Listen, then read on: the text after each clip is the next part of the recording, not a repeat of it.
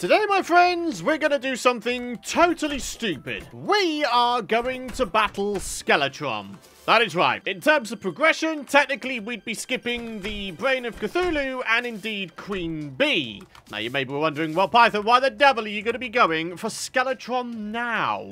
Well, A, believe it or not, I'm pretty sure we will be able to with the gear that we have, especially with all of our lovely movement accessories. And secondly, I actually really want the alchemy station so I can officially finish my greenhouse and therefore allow myself access to loads and loads of buff potions. So yeah, that's why we're doing Skeletron today, but don't worry, we're not actually going to skip the other bosses. We will come back to them, so please don't worry. It may seem like I'm rushing things along here, but believe me when I say, I'm really not. That really isn't the intention here. I just want to get the alchemy station. It's as simple as that. You know what? We just went ahead and checked out what fishing quest we have, and it turns out that it's going to be one that we can get from the oasis over here, right? So all we gotta do is see if we can get, what was it? The scarab fish, I think it was called?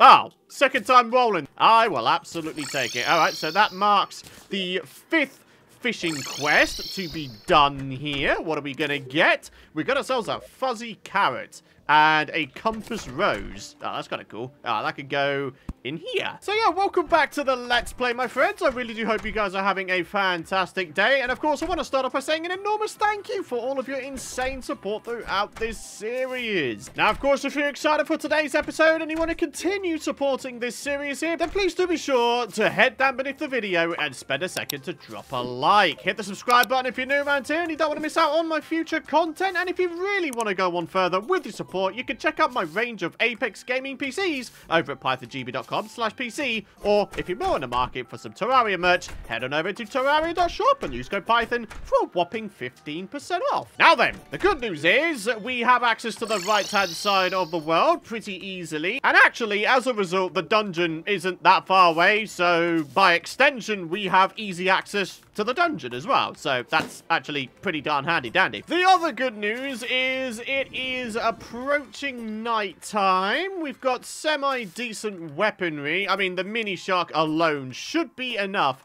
to take down Skeletron. Can I or can I not break these bricks? I can break these bricks. Okay, pretty cool. That will allow me to smooth this structure out a little bit, and as a result, I won't get caught on it mid-battle. Uh-oh, looks like the old man's... Oh, the old man doesn't take damage from hostile mobs. That's interesting, considering that he is still in sort of a panicked state, rushing around the place there. That seems a bit weird, no? Although I guess it does make sense that that guy doesn't take damage because otherwise, yeah, he'd probably be quite dead many times over, in fact. And that would certainly put a spanner in the works for us right now when we're trying to, you know, go for the goal of Skeletron. So, um, yeah. How about this for buffing up to the max, eh? Folks, we've even got sunflowers here, so we can increase our movement speed.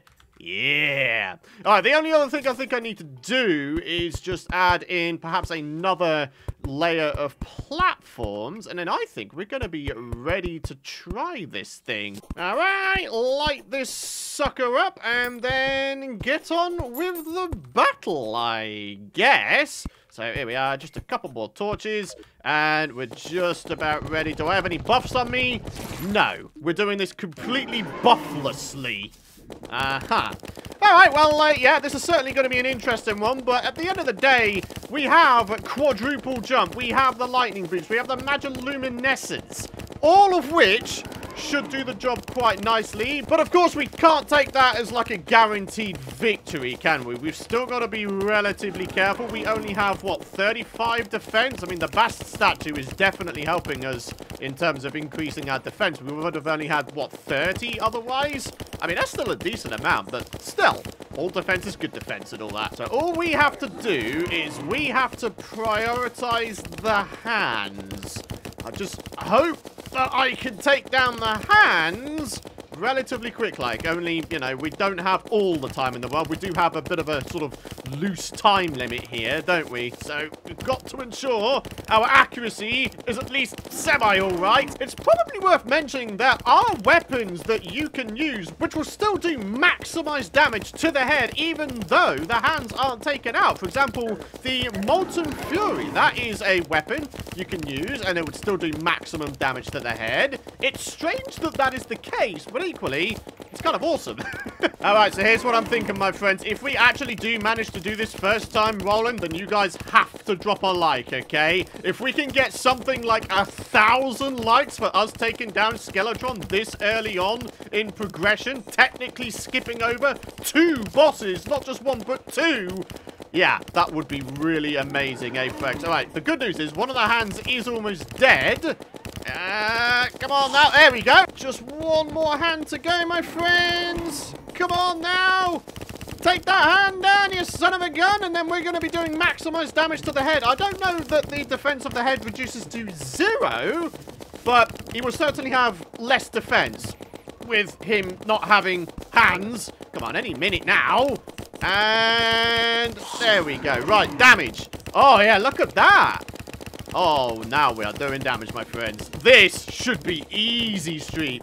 So long as we are doing a good job of avoiding all of those skulls, because, let's be honest, they're actually kind of nasty. They do a lot of damage to you. So long as we avoid them, we're pretty much good to go. It's always the spinny phase. That's when we're going to be doing the most amount of damage. Alright, we're about a quarter down here, folks, which isn't bad. This is definitely an endurance fight, isn't it? I guess that's the only thing we've uh, taken down bosses with relatively underpowered weapons. Although I say that, the Mini Shark has always been, like, one of the all-time greats in this game, hasn't it? Even today, in Terraria 1.4.4, it is a gnarly weapon, isn't it? Like, truly it is. You know what? Honestly, I'm not even breaking a sweat here, folks. I don't know if it's just because I've now done so many Let's Plays in Terraria Master Mode that it legitimately feels like normal mode to me. I don't know if it's just that or maybe I've just, you know, gotten better at the game over the years. I don't know. That was a decent amount of damage taken though, 57. All right, come on then. Got about a third health remaining. And we have three and a half minutes remaining.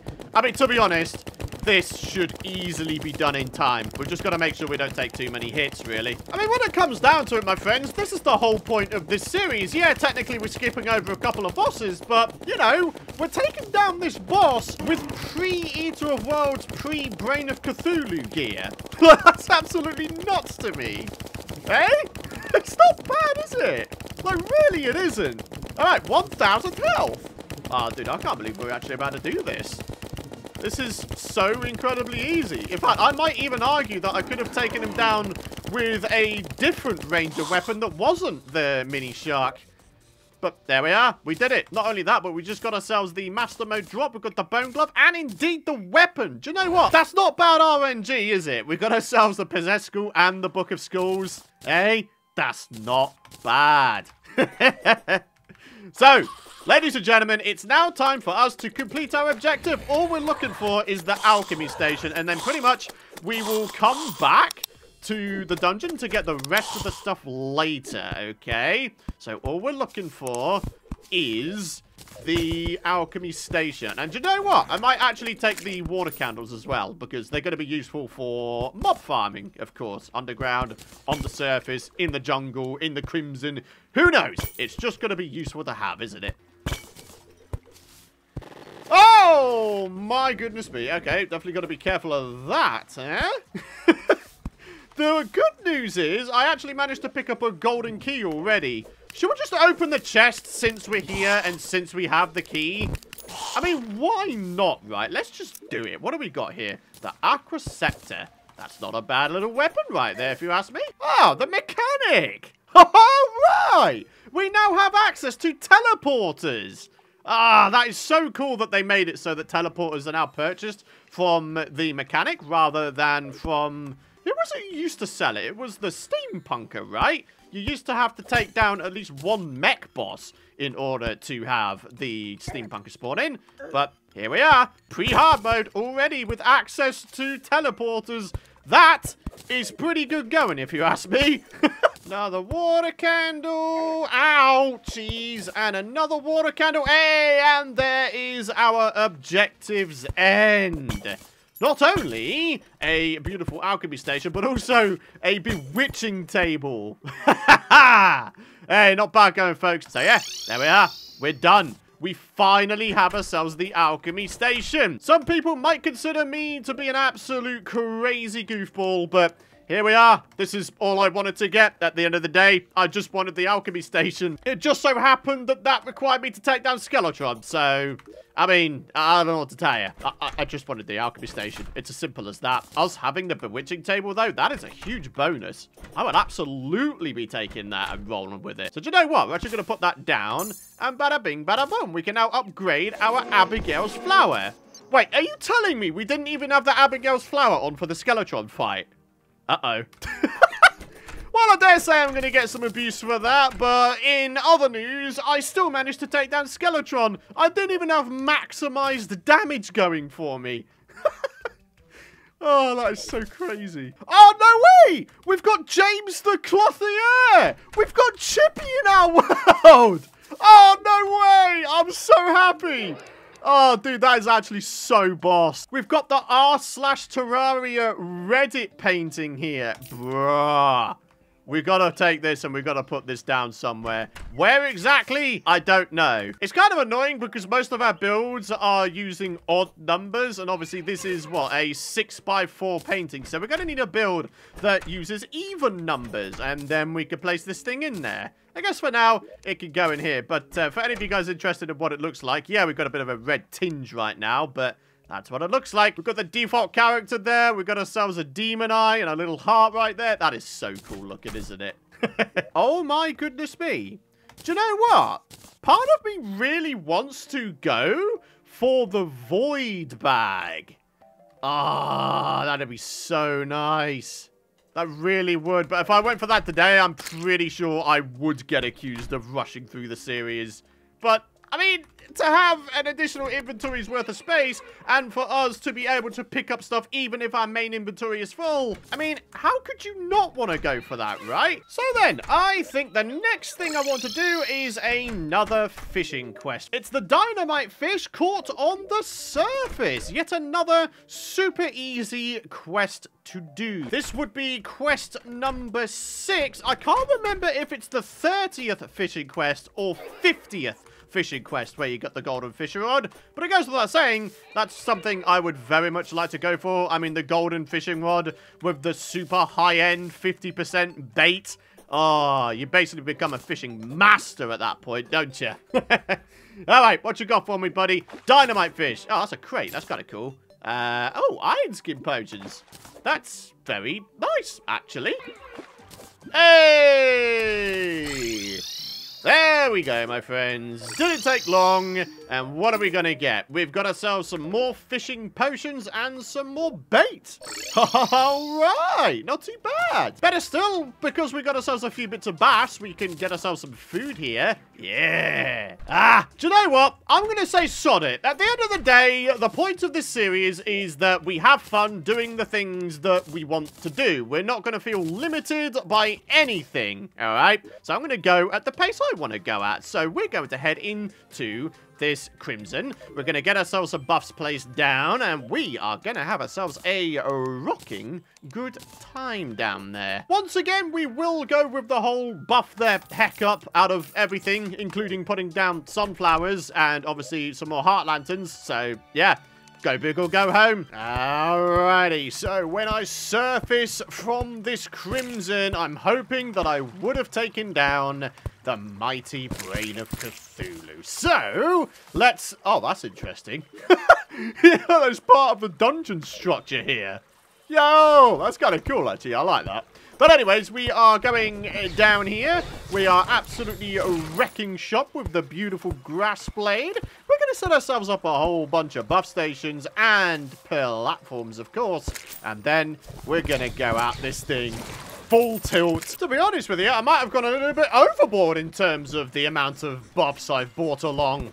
We don't really need to have two loads of all of our buffs. We just need to plant some grass here get our sunflower in, get our Bast statue in, the beautiful campfire, and of course the beautiful heart lantern as well. Alright!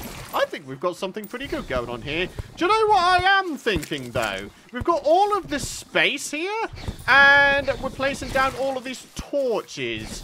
Add two and two together, and you get the Torch God, right? So then, our well-fed buff is just about all we have, so we might as well chuck it on. What are we going to get? It's the Panic Necklace. That means, ladies and gentlemen, we can actually make for ourselves the Band of Star Power. That is going to make things so so much easier. It's actually kind of crazy. All right, here we go, my friends. We're going to go at it with the grass blade here, as recommended by a lot of you guys in the community here. And, well, I can see why already.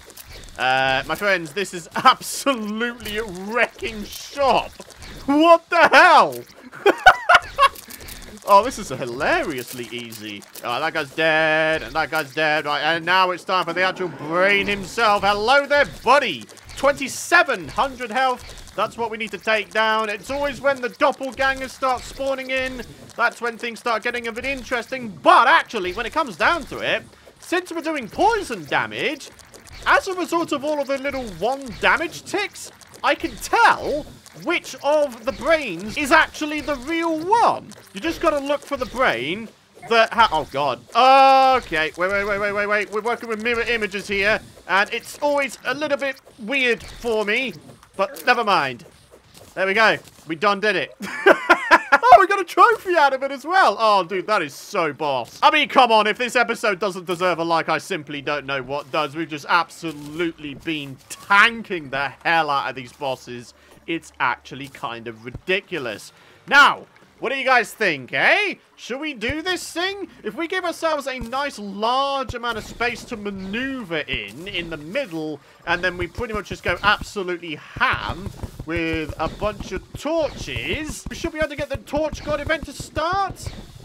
Come on now. Come on. Any second now.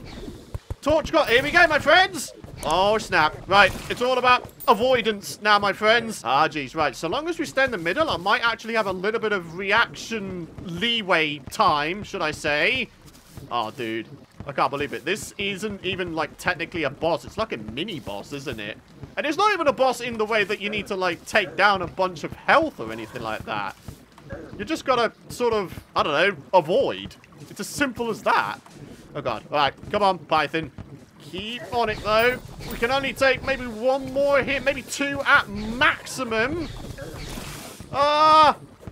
Ah, we failed. No. Ah, oh, come on. That freaking spider dude threw me off. Question is, just how long do you need to wait before the event starts up again?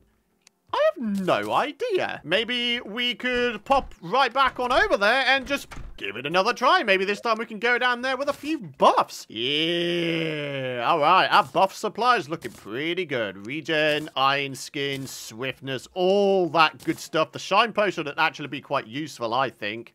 Thorns? I mean, you can't technically do damage against the Torch God, so Thorns is actually completely useless. In fact, most of these are. Like, we're not going to be doing any knockback to the Torch God or anything like that. We just need buffs that will allow us to stay alive and take less damage. So actually, maybe an endurance potion. That'd be a pretty good way to go, eh? Oh, do you know what else might be a good idea? Uh, do we by any chance have the ability to make for ourselves? I think it's a platinum candle or something, and then you make it into a peace candle. There we are. So there's the platinum candle. I think all we need now is the pink gel. And that is how you then make it into peace candles. Ah, do you know what? No, the pink gel is used for the pink torches. And then you can make the peace candles, I do believe. Yep, there it is, in fact. Oh, we didn't need to make the platinum candle in the first place. Wow, uh, it turns out I am pretty hazy on crafting recipes. All right, folks, making our way back down. The question is this. Is the Torch God event going to sort of immediately restart again? I don't... Oh, yeah, it is. Okay. Uh, buff it up straight away, in which case... Right. I am going to go silent so I can go concentration mode here because good grief do I need it.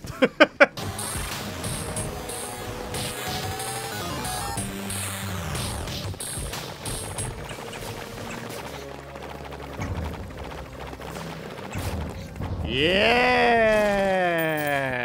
Here we go. Come on, torch God's favor. Where you at? There you are, you absolute beauty. Boom.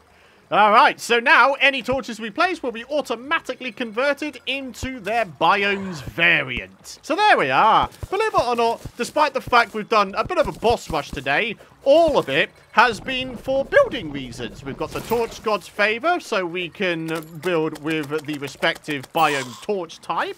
We took down the Brain of Cthulhu, so we can hopefully make for ourselves, by the end of today's episode, the Void Bag, so we can hold more building stuffs. And obviously, we've got the Alchemy Station, another building thing that I wanted from the dungeon. Say, yeah, might seem like on the surface we just went for a bit of a boss extravaganza willy-nilly, but believe me when I say it was calculated. Also, random side note, it's amazing what you can achieve when you actually concentrate, eh?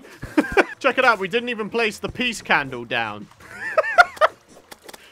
Ah, what can I say? We're just that good, aren't we? So then, everybody, it's jungle spores, tissue samples, and, of course, bones. Those are the three things we need for the void bag. Unfortunately, we don't have enough bones just yet, though, so we're going to have to head back down into the dungeon real quick, just do a tiny bit of mob grinding down there, get ourselves some more bones, and then that is it. Ah, no way. Water bolt. How could I pass that up, eh? Aha, here we go. The last few guys. There we are. Right, we don't need to go any further than that, my friends. You want to know something stupid? Me TPing back to base was actually completely unnecessary because, look at this. We've actually got a Crimson Altar right here. And there it is, the almighty Void Bag. We finally got it, ladies and gentlemen. And on that successful and epic note, it is going to be time to wrap up the episode. But of course, we do have the comment of the day to do beforehand. For today, that comes from Kaysin, who says there's actually moss bricks. So you can take a paint scraper to that neon moss and make it into some super colorful bricks. And try throwing the moss into Shimmer. Now, some of you guys were saying you could buy the paint scraper, and that is the way you grab the beautiful moss, and then from there, we could do some stuff with it. So I'll tell you what, let's go ahead and experiment with that real quick, just to finish off here. Ah, nice. I did notice there was a meteorite message before, and, well, here it is, in fact, in the jungly jungle of epicness. All right, definitely something to dig up in a future episode. So here we go, paint scraper. We're about to come across the neon moss. Let's see what we can do here. Can we... Oh, there we go. I just picked some up. Ah, nice. Can be placed, of course, and it's a material, of course. So, yeah, let's see if we can't grab ourselves a bunch of this. Oh, I didn't even realize this. You can use auto place or auto aim to get rid of all of the moss around here. Yeah. Alright. Alright, so a furnace. Let's chuck that down. Okay, so no sign of anything new just yet. Maybe we need to make ourselves some bricks here. Maybe then we can do something. Right, instead of going back to the guide, I think I'm going to wiki this. Only I want to do everything here because then I could do the whole, you know, shimmer thing as well. Because otherwise I'd have to go back to base and then come all the way back here. And that'd be a right faff. Wow, okay, turns out there's a lot of stuff you can do with this moss. You can put it upon grey bricks and stone blocks. You can also chuck the moss itself into shimmer. Let's do that and see what we get here. Ooh, helium moss. It's literally rainbow moss. And apparently the final thing you can do with it is, yes, make moss blocks. And the way you do that is with clay and moss together at a furnace. Oh, no way, here it is.